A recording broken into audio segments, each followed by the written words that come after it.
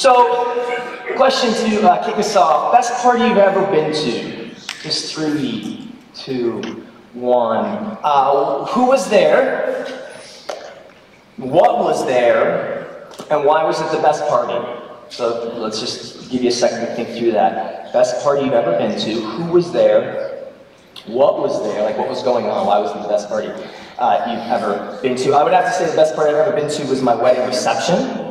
Um, and uh, my wife was there. She was like, you know, like you know how two people get married, but it's really the bride's thing. It's like it's like her thing and, the groom, and everybody kind of just gets to go along. And um, so Shane, I know that's happening to you soon. Just that's a good little marriage tip, okay? It's, it's her thing, and you support that and, and honor that it's awesome.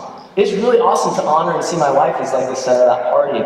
All my family was there, and we had lots of like feasting, and it was just like this really amazing moment. That's. As I think about um, Palm Sunday, and Jesus um, historically riding into Jerusalem on uh, that animal, which actually signified prophetically, like in the Old Testament, that the king was entering, that there, there was a new king in town. Um, as I think about that, the people, they're waving their branches, you know, if you're kind of familiar with the story, they're saying, Hosanna, son of David, which means like save us. And um, not everybody knew exactly what that meant, right? Like they were just part of the celebration of what was going on. That might be some of you here today. You, don't, you didn't understand what was happening during the worship, you just knew that something cool was happening. That's okay. You just kind of join in as, as, as you can best understand it and stick around. That would be my encouragement, stick around and let God keep making things clear to you. But especially in that first Palm Sunday, it was, it was as if, even though everybody didn't understand the fullness of what was happening, they knew that there was a better party in town. They knew that somehow Jesus was like hosting and at the center of this better party that had come to town, and they wanted to be a part of it. So I think of best parties, things like that. Um, when I start to think about evangelism, it seems as though it would be a really healthy shift in some of our minds, and maybe you're there, but it would be a really healthy shift for us to think about inviting people to the better party. And guess what? Jesus is at the center. The better party as, as we're working through this idea here in our series, we're in the All In series, and we're, we're getting towards the end of it. And the last couple of weeks is going to be all about reimagining evangelism. Uh, and what we're saying here is uh, we would love to see, we believe God has called us to radical gospel renewal for Delray and beyond. But in order for us to get there, there are a few things that we have to become more proficient in. Uh, one of them was uh, intimacy with God. We actually just had a workshop last Friday about like prayer and, and how to do that and how to grow intimacy there. And, and, so we're trying to equip you with how to grow more intimate with God because we don't think radical gospel renewal will happen unless it first happens to your hearts. And so we're trying to help you with that so that together we can see this new vision come alive. And we also talked about family life, and we know that we have to do it together, as you just saw, rather than just individually. We also spent a couple weeks on living generously. And we're saying, hey, in order to see this, this picture of what God gives us in Revelation, the, the new heavens and the new earth, in order to see more and more of that come today, we're going to have to learn to live generously. And so the last segment, if you will, in this All In series is reimagining evangelism. Reimagining what it might be like to pursue those who are lost and far from God around us and invite them into a living and loving relationship with the God you serve today.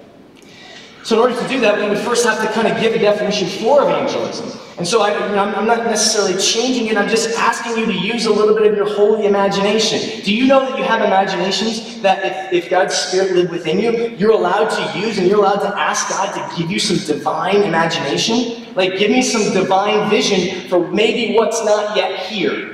How could things be a little bit different? So I'm going to ask you over the next couple of weeks hey, let's broaden our horizons. I'm not taking away from the definition I'm about to give you, but let's broaden our horizons. Uh, and so this is how the Oxford Living Dictionary defines evangelism the spreading of the Christian gospel by public preaching or personal witness.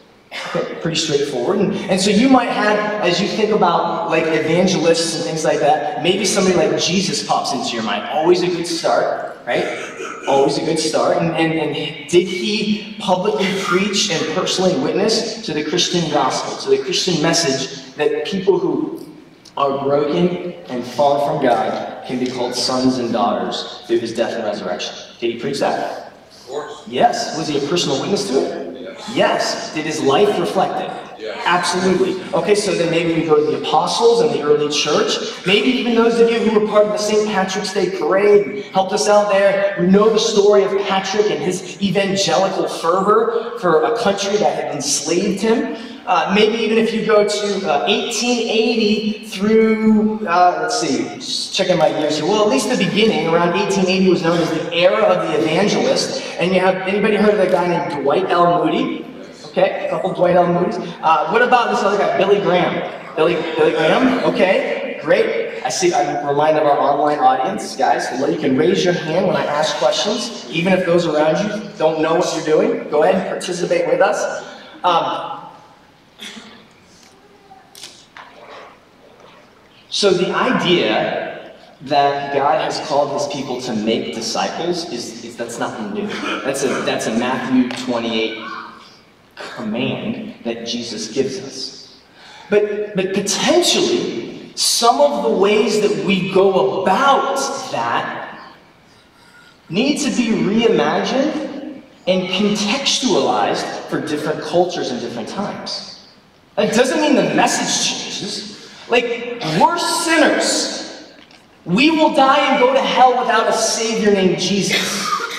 And the way that Jesus paid for you to be made right with God was on a cross by being crushed for your sin and mine. And on the third day, being resurrected from that death overcoming your sin and my sin, and then giving us the opportunity to turn from self and believe and receive Him as Savior and Master.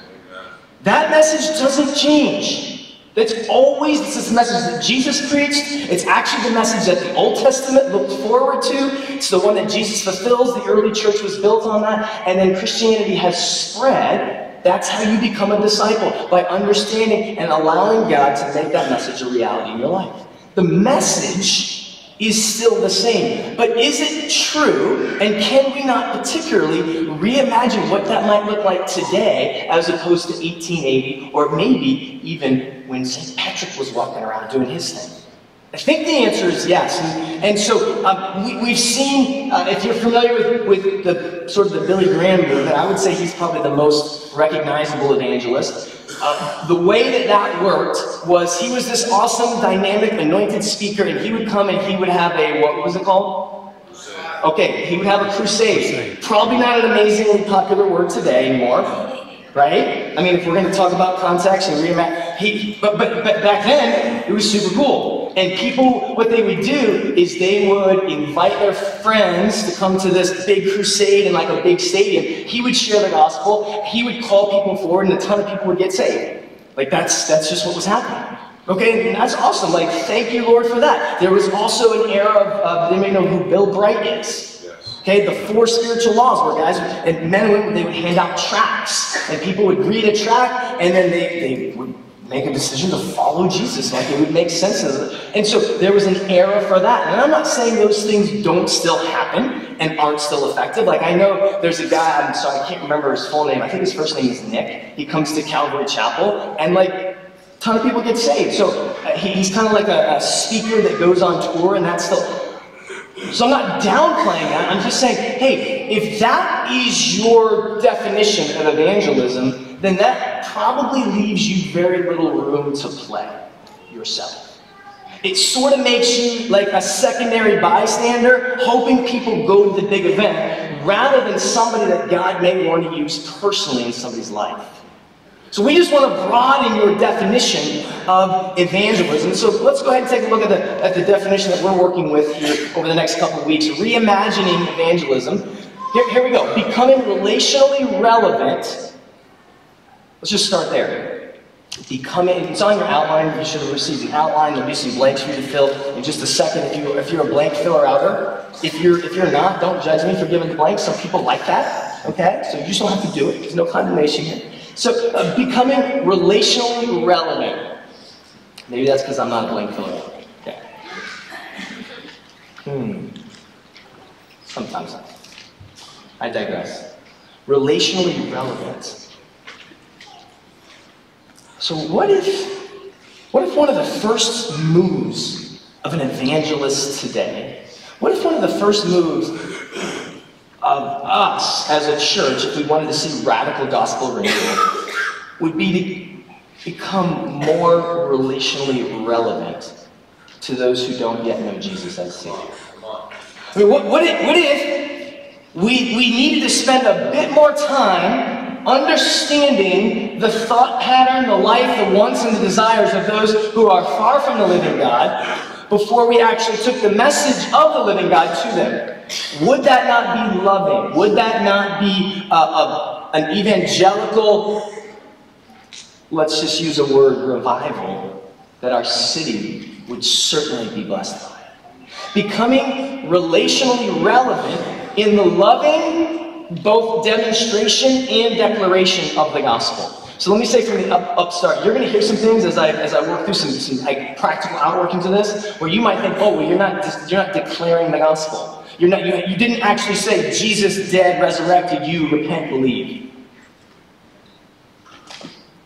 Let me be clear that as we reimagine evangelism, it is both the demonstrated life of the living Jesus within you and the proclamation of that and the declaration of. So it's both and. It's just that in every single situation, both and do not have to occur for evangelism to be taking place. Are, are you with me on that? Some of you, that might be a new that might be a new paradigm for you. Because you might be thinking, unless I'm giving an altar call in my living room, I am not being evangelistic. And what I want to challenge us with is broadening our definition of what it means to be evangelistic, because although many of you probably responded, potentially in a church service like this, to a call to come follow Jesus, there was a long list of evangelical people that God had divinely put in your path in order to get you here. Are you with me on that? It's important that you stay with me on this because I don't want you to check out and start to divide things between like secular and sacred. Like what Casey does is secular because he's going to share the gospel. But what I do Monday through Friday, that's just kind of secular because I don't ever get to say the name Jesus. You're wrong if that's how you think. And I don't want to condemn you, I want to encourage you. And so that's what we're going to be working through here over the next uh, couple of weeks. So where do we start? Well, let's go to Luke 15. And uh, in Luke 15, we're going to find a, a very, could be familiar story. It depends if you're new here. I love the fact that if you've never heard of Luke, or especially then Luke 15, I love that because that means you're new to the whole thing. And, and that means that the Lord's doing a really sweet work. And so if you're familiar with it, cool. That's awesome too. But if, if Luke is new to you and you're like, Bible, what are you talking about? Awesome, you're in a great place. You're in a great, safe place to stay and explore what God might be doing in your heart. And so Luke, he's a doctor, and he wrote this whole story about Jesus from a historical perspective. And um, he just, he, he took down accounts and teachings and activities of Jesus. And Luke 15 is one of the more famous ones because you might know it as the prodigal son or the lost son, which uh, uh, in preparation for this, you, you may hear some influence, you will hear some influence from a book that I reread called Prodigal God by Tim Keller. Uh, it's a great small read. I can't recommend it highly enough. Tim Keller, Prodigal God. Um, and, and in that, there, he kind of challenges the title of this parable. He wouldn't necessarily call it the, the prodigal um, son, but he would call it the prodigal God. Because the word prodigal means reckless, and like like um, fully abandoned. And so many people think that it's the son who was reckless and fully abandoned to his his wayward life, but it's actually God who's reckless and fully abandoned to his love for both his sons. Amen.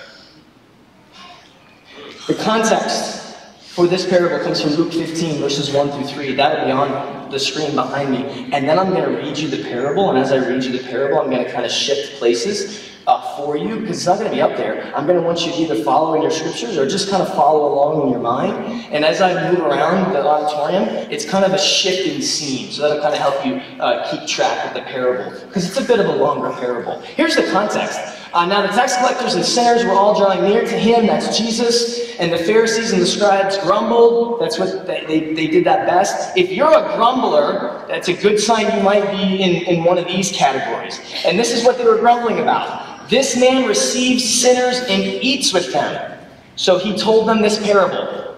And he goes on and he tells them a few parables, and most of the parables are about lost stuff, and this one is as well. So the context is that Jesus is addressing sort of the hardness of heart that religious people have toward his acceptance of, what is it, sinners in other places, tax collectors are thrown in there, sort of the worst of the worst.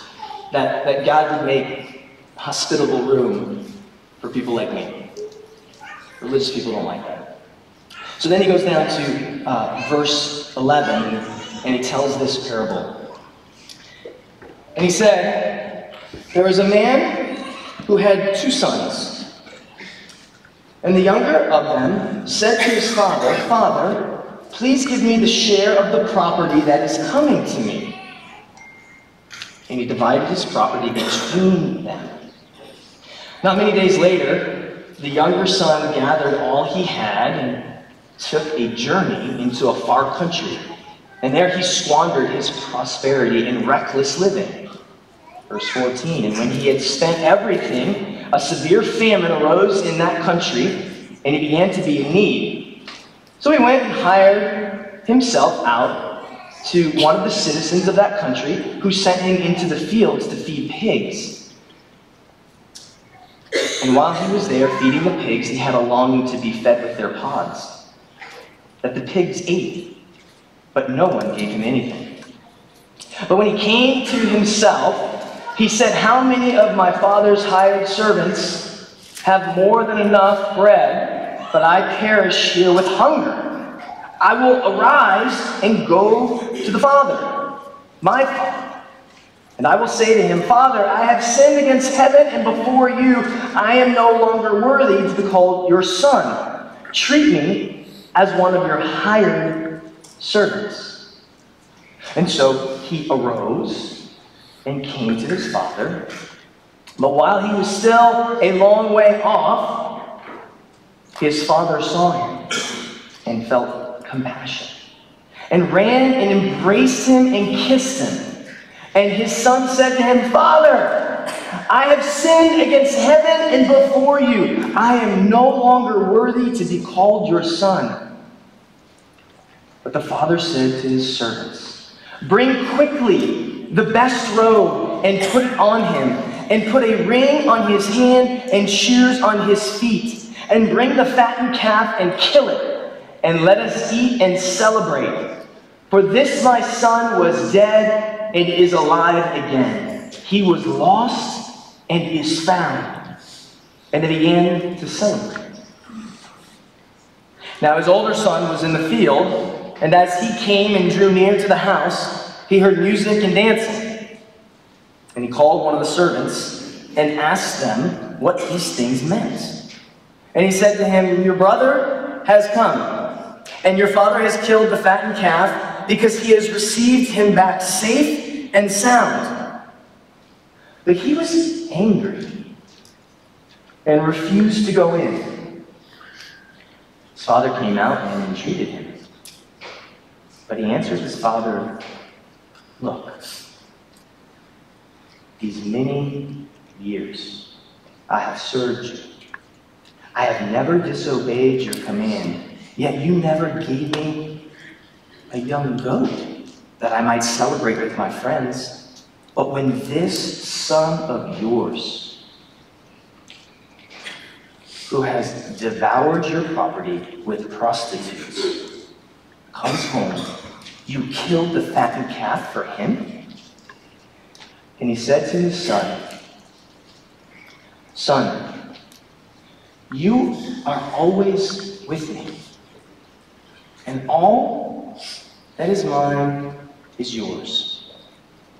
it was fitting to celebrate and be glad. For this brother was dead and is alive. He was lost and is found. Amen. Amen. So, as we look at this particular parable, which is a story that Jesus tells in order to teach a, a, a greater truth, we're able to see a couple of key uh, characters in the in the narrative that are important to us as we as we work our way through it. And the first one is there's uh, a, there's one kind of dad. Okay, important. There's there's one kind of dad there's two kinds of lost, and there's three kinds of responses in this particular uh, in this particular passage. And so we, we get to see in verse three early in Luke Luke 15 that Jesus is going to say, basically, you've got the wrong idea of who you think God is. Yes. You need to reimagine the Father. And so he encourages, and even in a spirit of like encouragement, but also some rebuke, like, listen, if you stay with this understanding of the Father, you will perish. This is far from life. This is not who my dad is. There's one kind of dad, and you haven't figured out who he is. And so this parable is to help explore the heart of the Father of Jesus. Now, that might be difficult for some of you to hear based on your relationship with your dad. When I start talking about one kind of dad, those are not good memories for you. And I just want to I want to value that and tell you that I'm sorry for whatever wounding a man of God did to you. And I say man of God because he was the man that God had put in your life, where he should have brought healing and hope. I'm sorry for that. We value that, and that, there's no quick fix to it. But whether you have that type of dad, or the type of dad that was awesome, but you, you, you said, hey, there's some things that I'm going to do different than my dad did, even though it was like a really great experience. No matter what kind of dad you had, this is the dad of all dads. This is the dad that heals those wounds of that first one that are still with you this morning. This is also the dad that you don't have to elevate or get better at. This is the dad that you can finally rest and receive. There's one kind of dad in this story. Now, there's two kinds of lost. Keller does a great job in his book of, of, bringing this out. There's two types of lost people. A lot of times we like to sentimentalize. I, that's totally not a word, is it? I, I don't know what it is, but make sentimental the first son. We like to say, like, oh my goodness, was so awesome the first time. And sometimes, even when I was reading the passage, uh, there were some of you that might have thought I was going to stop there. When, when the first son comes home and, and there's this kind of like really sweet opportunity for us to talk about the graciousness of the Father. And if you're here and you bring in baggage that you would never want to share with even your closest confidant, I mean, it's sexual in nature, it's destructive in nature, it's repetitive in nature. It's embarrassing. It's illegal. Whatever it is, man. Like, this is the dad for you. This is the dad that has your name, desires pursues you. He's got your name on his heart, and he's coming after you this morning. I'm praying.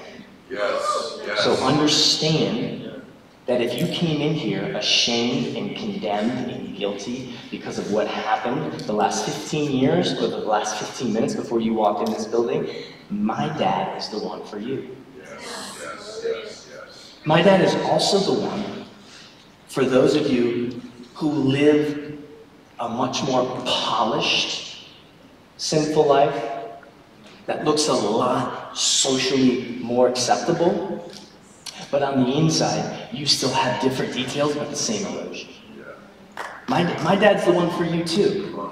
You know, those of you who are angry or resentful or, or judgmental or you like you carry that stuff and you know you shouldn't and, and you and, and like there's you actually become aware of some of your stuff and, and and you it's just very hard for you to be around other people because you're right and they're wrong even when they might be right. You still right somewhere deep in your heart and, and you actually hate it. You actually don't like living like that. You actually if you were honest would do anything you could to leave your older brother mentality, but you can't, and you're still stuck in the fields, slaving for God, reading your Bible, fasting, praying, doing everything you should, far from a living God. My dad's for you too. You can come too. But you have to come.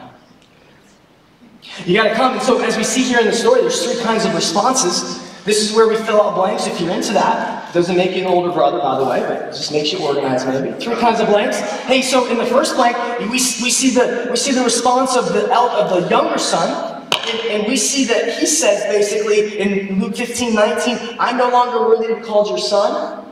That's called humility, and you're going to see an I blank. So basically, what the younger son is saying is, I quit. I quit.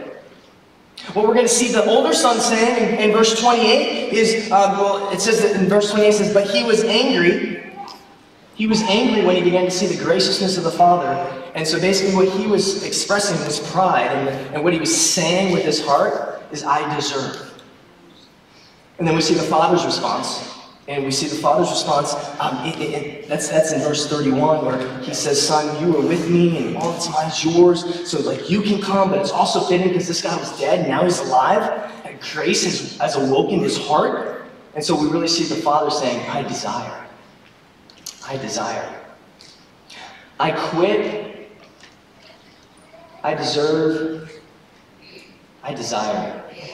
I was thinking through this um, as, as it pertains to this particular passage, and it's like, this is so not good parenting.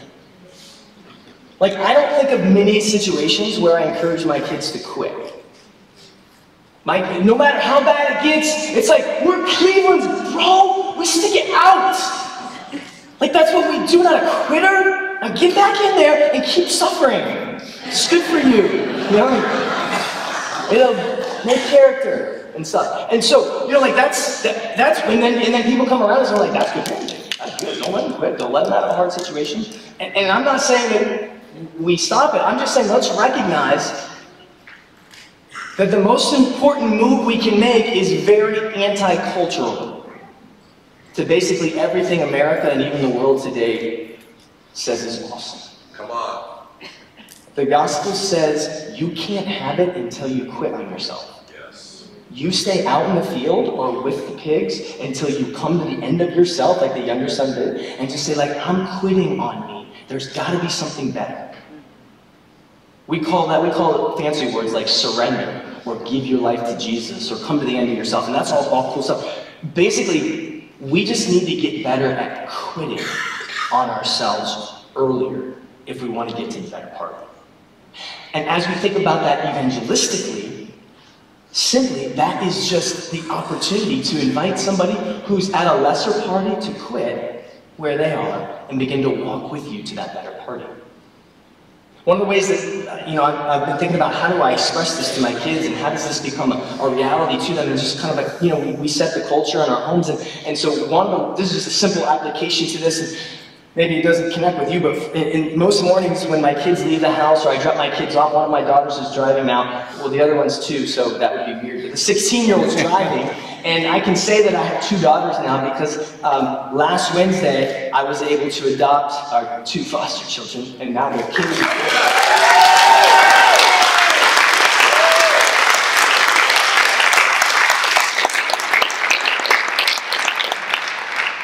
We brought them to the better party.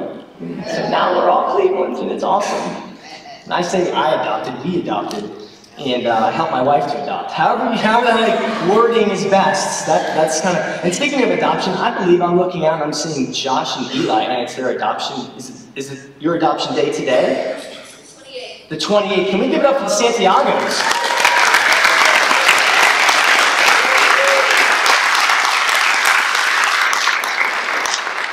We got adoption happening all over this place. It's awesome. You know why? Because the gospel is real here, yes. and adoption is the gospel story retold with flesh. Yes. Like you didn't have a family, and now at great expense to another family, we chose to make you family and not get in here because we're just going to love the heck out of you. That's that's the gospel, and that's also adoption. That's why you see it over and over and over again. We're going to make you sons and daughters where you were orphans, because we can and we want to, because we desire to. Just like the Father. I desire this. And so, so the first, I quit. How do we, how do we begin to? So, so here's what I tell my kids in the morning. I say like, I love you, um, and uh, I'm, I'm proud of you, and I believe in God's Spirit in you. And so, because I don't really believe in my kids, you shouldn't believe in me either. You can absolutely believe in the living Jesus in me and like what he can do in and through me, but like my potential is like horrific outside of Jesus. But because Jesus lives in me, then you can have confidence in what God is doing in me. And so I just, I'm just trying to create a culture, maybe that's weird to you and it doesn't connect, but we just try to let our kids know on as much as we can on a regular basis, man, I believe in God's Spirit in you.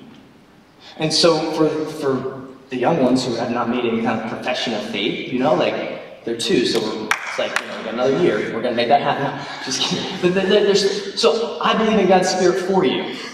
I believe in God's Spirit for you. I believe in God's Spirit in you. And then we're able to talk about, dude, you have crazy potential, Caroline, to be this amazing evangelist, even though you don't love talking to a ton of people. Why? Because God's evangelistic spirit lives in you. Cole, you have this amazing opportunity to be the advocate for the weak. Why? Because you're this amazing 12 year old who does it? Yeah, you do it a little bit. No, but because God's spirit of advocacy lives within you. And so I'm beginning to see, and as parents, we can begin to see, and as the body of Christ, we can begin to see God's Spirit in and for people before it actually becomes a reality and starts speaking that into them, encouraging them to the better party. I quit, but people aren't going to realize that fully until they quit on themselves. They're going to keep having this, this 50-50 game where it's like some of me and some of God. This is more how it works. I quit, Jesus, on my trying not to be anxious. I'm quitting. You can do so much better, and I'm expecting and asking you to. Yes. Let's move forward together. I quit, you can, let's go. Say it with me. I quit, you, you can, can, let's, let's go. go. One more time. I quit, you, you can, can, let's go. go. That's how the gospel works in us. It's also how the gospel works in those who are far from God. If you're here with an I deserve mentality, it's okay. This is my dad's for you as well. But it's the same invitation for you. And we can see anger, resentment, all those sort of things. That's an I deserve mentality. And, and finally, we see the Father, he's like, man, I desire. I, I want you both. I think sometimes in my preaching and in my believing, I think the Father wants the younger son more than he wants the older son. That's wrong. It's bad theology. But I believe that sometimes. I believe that sometimes the father is, is he, he would rather see the younger son come home than the older son leave the working fields and come in. But it's not true. You have to understand that the father has this deep, radical, reckless desire for both, no matter who you might be. So it's okay to identify yourself with the older because older brothers and older sisters don't like to identify themselves.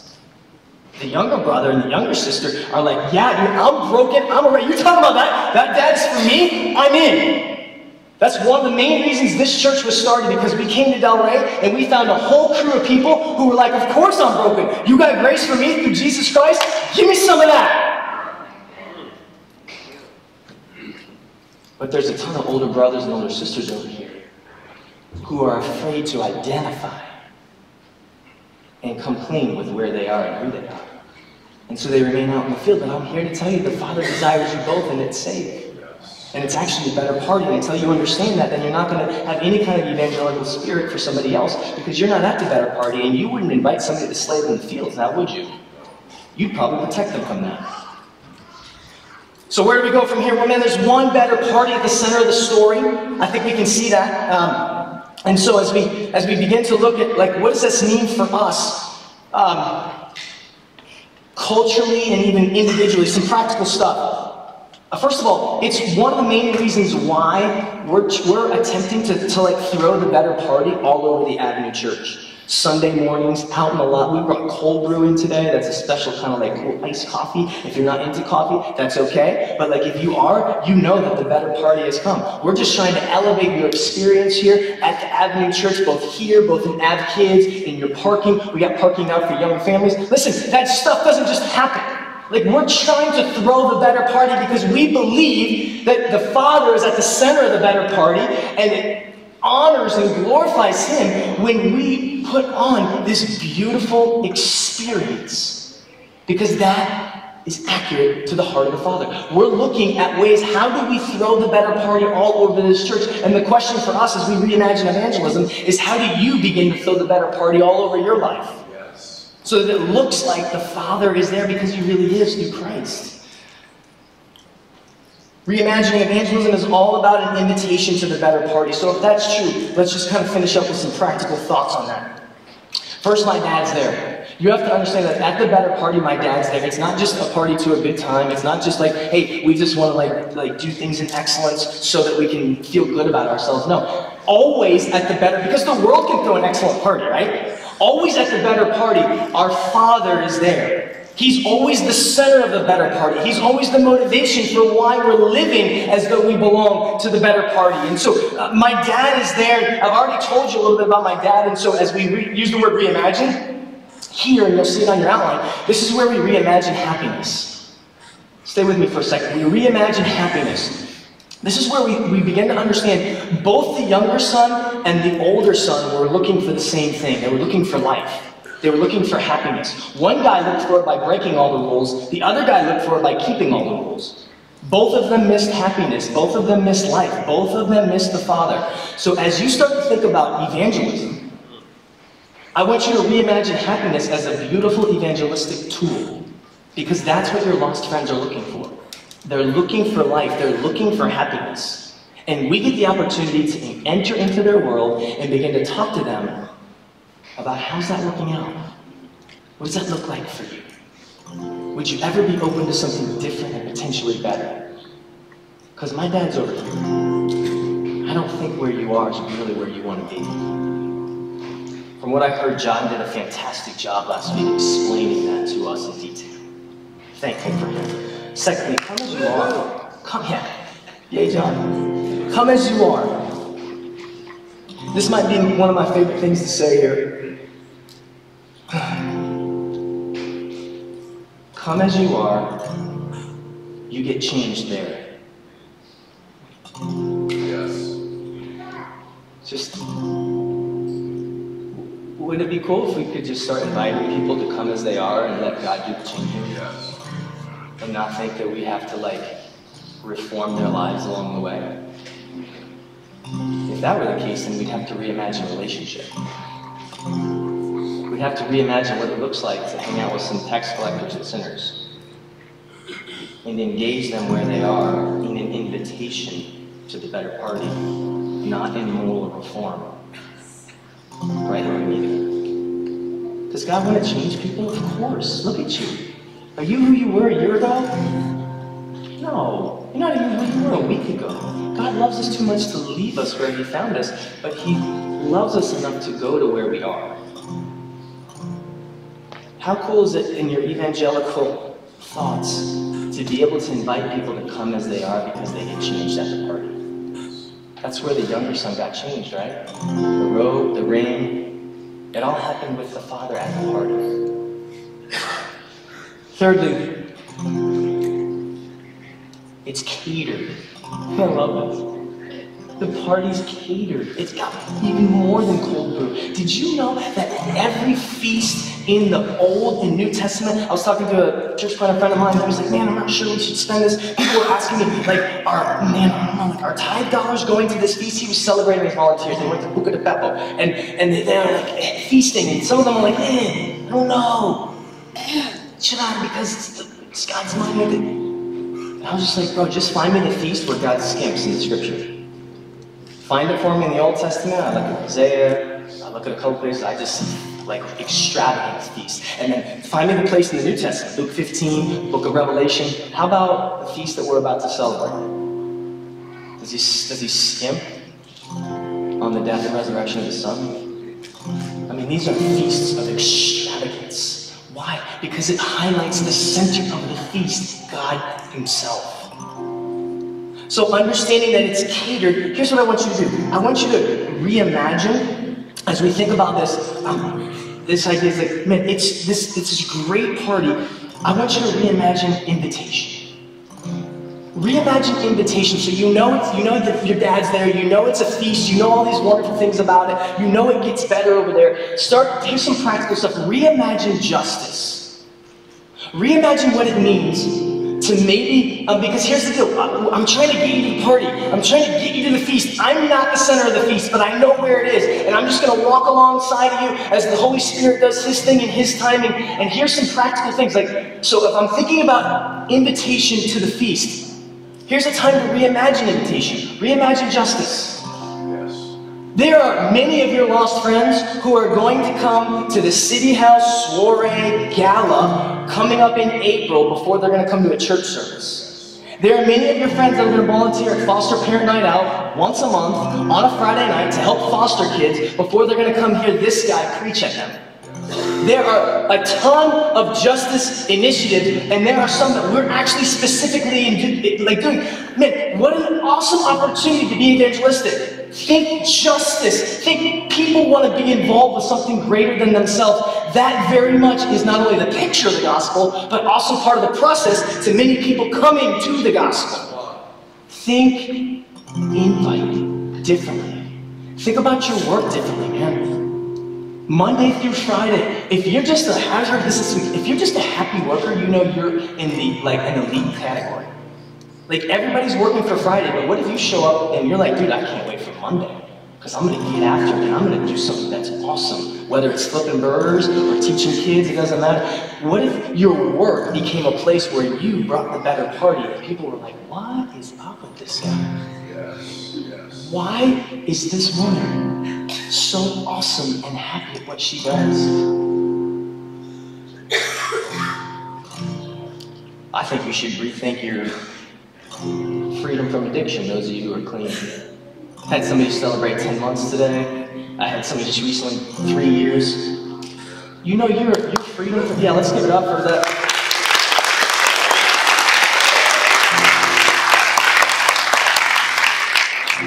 You know your freedom from addiction is not about you right? I mean, it's cool that you're enjoying it and the Father loves you, so there is a piece that is definitely about you. But let's start thinking about what about evangelism? What about the lost? Let's think about inviting people to your story of freedom. And the God who brought you to the better And learn how to tell that in such a way that honors the Father, not you. Let's reimagine evangelism. So here's where we end. Prepare our hearts for communion. My dad loves. So there's something my dad loves, and, and it's been kind of new to me. I don't know why it's new. Like, I,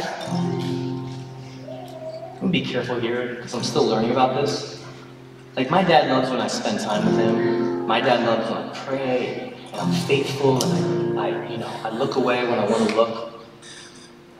Whether that's with, with another person or it's another church or whatever. When I'm like faithful in my eyes and my heart. So, so like my dad loves that stuff. But you know, like, there's something my dad like super loves. I don't know why I haven't caught this earlier. But he loves when other new people get brought to the party. He's like super into that, man. And I'm super into my dad. So I don't know how I've missed so long that I would want to be a part of something that like radically makes my father's heart celebrate. Other than pursuing lost people, inviting them to the party. My dad loves when other people come to the party and so I'd like for you to reimagine that. I'd like for you to reimagine our Father as one who is extravagantly ready to celebrate, not only when people come to the party, but when somebody like you and me actually faithfully bring I'm going to end with the problem, and then we're going to celebrate communion that reminds us why it's no longer a problem. As I was journaling this week in the K part, I do the walk journal, word, application, or pay attention, life, how it applies to my life, and the K is a prayer right out. And I finished this and I was like, God, I got it. Like, you're super into that. There's only one problem, and it's me. And here's what I wrote verbatim Jesus, I cannot do this. This whole evangelism thing, I just can't do it. I get afraid, distracted, ashamed, and fatigued. I cannot live like this. I'm too selfish and consumed and fearful. But you, you and me, you in me, you are my hope. So please, with all that I have, I am asking you to be this and do this in me. I surrender my life to you. I expect you. I am confident in you. I am happy in you. Thank you as you do it. I love you. So I'm believing this to be true for all of us. That Jesus in us, the great evangelist, will help us as we go. Amen? Amen. As we come to the feast that he left us, the better party, this is us saying, I quit. You came. Let's go. And so, for those of you who have made that decision to quit on yourselves, and repentance and faith is the biblical words for that, and come to Jesus and trust Him as your Savior and Lord, this is a time for us to be nourished and refreshed. To ask our elders to come down and we'll serve. And um, if you're not a believer, maybe just listen to the music and let the kind of some of the words of the song pour over you meditate on what it means to quit and let Jesus begin. If you're a believer here and you find yourself either as the younger brother or the older brother, and that's been a pattern in your life, the Lord very clearly revealed to me I've got a lot of older brother left in me. But then you know what else I know? He still desires me. He still wants to work in me, and I'm ready for that. If you find yourself in some sort of like sin pattern and, and you're ready to get right and bring that, to quit on that and begin again with Jesus, you should come. But if you're here and you're not ready to quit, what God's called you to quit, then like just be where you are and allow God's Spirit to bring a softness that you don't have. I'm going to invite all of us when I pray to come and quit on ourselves tangibly. Take the better part. Go back to our seats and we'll all take it together. Let the words wash over you in this song. Father, we quit because we know that you are the better party. We trust you. We choose you by faith. We come to you in great expectation. We desire to bring others along. Let's go. Amen. Amen.